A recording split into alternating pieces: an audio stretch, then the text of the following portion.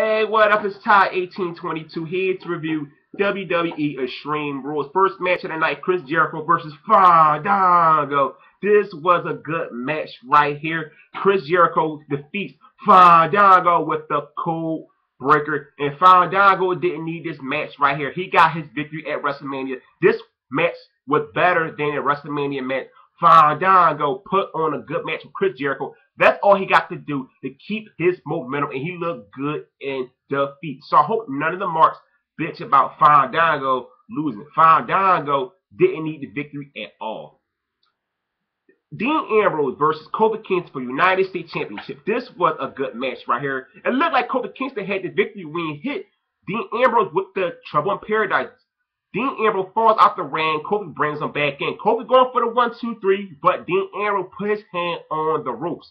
So then, you know, Kofi Kingston going for the trouble in paradise. Again, he misses it, hits his leg on a rope. Dean Ambrose hits him with his finishing move, which is a cool finishing move. One, two, three. You're a new United States champion, Dean Ambrose. I'm so happy he's the United States champion. Kofi Kingston still, I like the guy, but WWE don't know what to do with this guy, and Dean Ambrose being a U.S. champ is a breath of fresh air.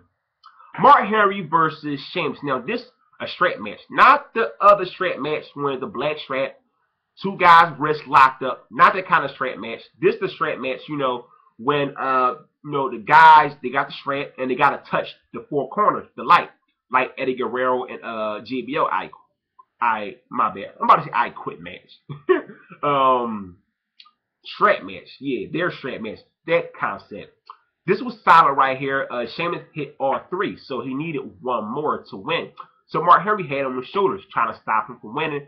Sheamus counters it. Bro kick to the face. Then Sheamus uh, hits the last like your winner, Sheamus.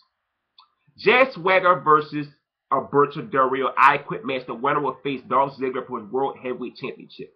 Now, this match started off, you know, with do you quit? Do you quit? I'm like, okay, can I at least get some build up first? I mean, why are they saying, do you quit? Do you quit? I'm like, I mean, it's, it's like if uh, Jack Swagger, uh, you know, bit off Alberto Del Rio fingernail, the ref, the ref, do you quit? Do you quit Del Rio? No, no, I don't. Like, like, come on, like, it was no build up, but you know, the match was solid. Um, Jack Swagger had Alberto Del Rio in his uh Patriot lock. So then Ricardo Rodriguez about to throw the white towel in the ring, old school style. Then Del Rio said, don't throw it. Then Zeb Colter takes the towel, throw it in the ring, and the rest sees it. Oh, okay, that was Ricardo Rodriguez. So your winner, Jack Swagger. It looked like Jack Swagger was on head to the next pay-per-view or Raw to face Dolph Ziggler for the World Heavyweight Championship. Then the referee came out and said, hey, no, he did not throw the towel in the ring. Both refs looked at, you know, the instant replay, and it showed that it was that coach who threw the white towel not Ricardo Rodriguez. So then, you know, they start the match over. Um, the uh, Berto Del Rio uh, made Jack Swagger said, I quit in, in, his arm bar submission. I wish it was a better finish than that. Like, um, Del Rio had the still steps, and he about to hit Jack Swagger with it when Jack Swagger, you know, on the mat, and then Jack Swagger said, I quit, I quit. That'd been a better finish to me. Because, you know, Zeb Colter could have just came in the ring and broke up the submission. so I wish it was a better finish to that match. And uh, uh Alberto Del Rio uh, will face um, Dolph Ziggler for the World Heavyweight Championship. The tag team tornado match for the tag team titles, the Shield members, Seth Rollins and Roman Reigns versus Daniel Bryan Kane. This was a good tag team match right here.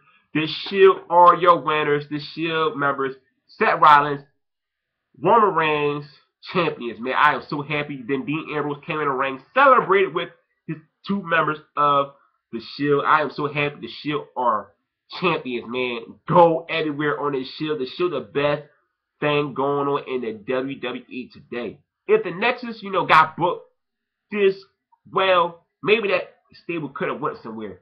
But the Shield, man, this is just a great stable, and they work so well with each other great chemistry. The Big Show versus Randy Orton. I didn't care about this match, but it, you know I really got into the match when the Big Show had you know two chairs out. He had a ladder on top, so he had Randy Orton top of the ladder, about to go for the splash. He misses it, and you know Randy Orton gives him the RKO. I'm thinking it's over. Big Show kicks out, and that's when the drama kicked in. The match got a lot better. So, you know, Randy Orton takes out Big Show with the RKO again. Now I'm thinking, okay, the second RKO, Randy Orton going for the pin. But Randy Orton was setting up the punt. The punt. The crowd's going nuts. Everybody on Twitter like, did they abandon the punt? So it's not going to happen. Randy Orton punts. Big Show right in the head. One, two, three. Your winner, Randy Orton. I didn't expect a punt at all. Now, the last time Randy Orton punched somebody was probably with John Cena, that terrible box from years ago. I don't know if y'all remember that, that cage match when when when Randy Orton barely touched John Cena, John Cena messed it up. But I think that was the last time Orton did the punt. I think. I think it is. But it's been a long time. It probably been what? Two, three years since Randy Orton did the punt to somebody. It was cool to see the punt come back. And it, it gets the big show. It makes perfect sense. The big show is a big ass guy. Randy Orton got to take him out some way. Ryback versus John Cena for the WWE Championship. Last man standing. Now, a lot of people didn't want to see this match, but this was a match of the night, man. I really enjoyed this. Ryback put Cena through the table. Cena put Ryback through the table with the AA. They went out to the stands. Then, you know, John Cena, you know, went one of the, uh, cause went, went, went in the fan section, had Ryback on the table. Cena jumps off it, leg drop, right through the table, man. I love that part. Then Cena hit Ryback with fire extinguisher two times. I'm thinking it's over. So then he going for the AA off the ramp. Ryback counters it, puts Cena on his shoulder, rams him right through the entrance stage. Both guys knock out trainers, referees. Nobody wins this match. Great way right there because Ryback didn't need to lose anyway. Cena gonna always look strong, but the biggest winner in this match was Ryback. Match of the night, and I want to see the rematch because this was really good. Now they just gave it better build up. You know, Cena Ryback could really be big if they just give it better build up because the match was really good. It was a match of the night.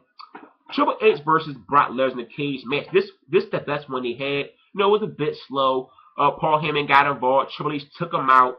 Uh, you know, um, Brock Lesnar, you know, selling the knee all night. Uh, Triple H debuts a new sledgehammer. Uh, they both hit each other with the sledgehammer. Brock Lesnar, at the end of the day, was still able to defeat Triple H with the F5. That's Extreme Rules. Extreme Rules was a good pay-per-view. And once again, Extreme Rules did better than WrestleMania. That's what, four years in a row, Extreme Rules been better than WrestleMania. So don't forget, hit the subscribe button. I'm out.